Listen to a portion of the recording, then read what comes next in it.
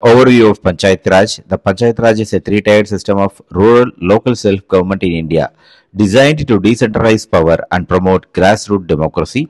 This innovative governance structure connects villages directly to district administration, ensuring more effective and participatory governance. Now, we have four fundamental principles. The four fundamental principles are it represents a bottom up approach to governance. This is a new thing. It ensures people participation in local development. Second important thing channels all development program through local bodies, strengthens democratic processes at the grassroots level. So, how it is organized? It is basically organized into three level. Village level the foundation of panchayat raj. Block level the intermediate coordination. And district level the strategic oversight. Okay? Coming to the village level because this is a local body which functions in delivering the services so the components are gram sabha gram panchayat and nyaya panchayat See the Gram Sabha, it is the assembly of all adult villagers. It meets at least twice annually. The responsibilities are discussing local taxation proposal, reviewing annual programs and electing Gram Panchayat members. Second is Gram Panchayat. It is the executive body of Gram Sabha. It composed of 15 to 30 members, covers 5,000 to 15,000 population and elected for 3 to 4 year term. The leadership structure of this Gram Panchayat is there is a president called Sarpanch or Sabhapati or Mukhya, then vice president, then Panchayat secretary. The comprehensive responsibilities include the civic administration, sanitation and public health, social and economic development. Third is Nyaya Panchayat. It is a local dispute resolution mechanism of village level Panchayat Raj. Now coming to the block level. So this is the intermediate coordination body.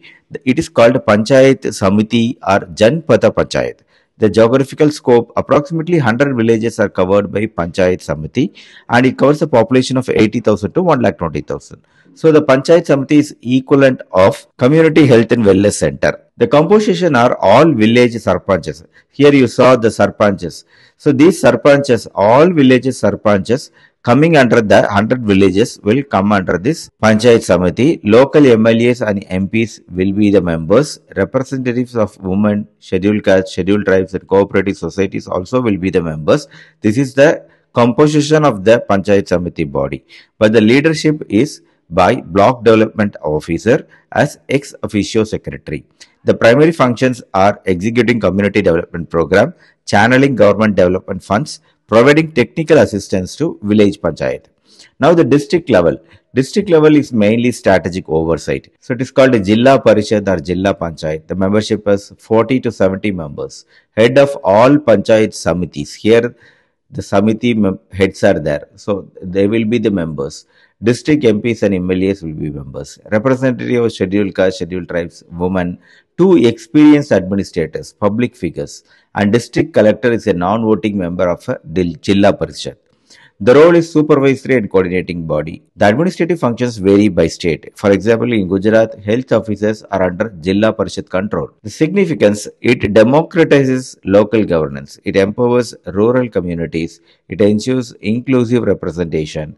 It facilitates targeted local development. It provides mechanism for direct citizen participation in governments flexibility and adaptability.